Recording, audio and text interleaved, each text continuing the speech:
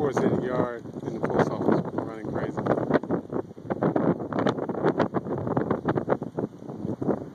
Check it out.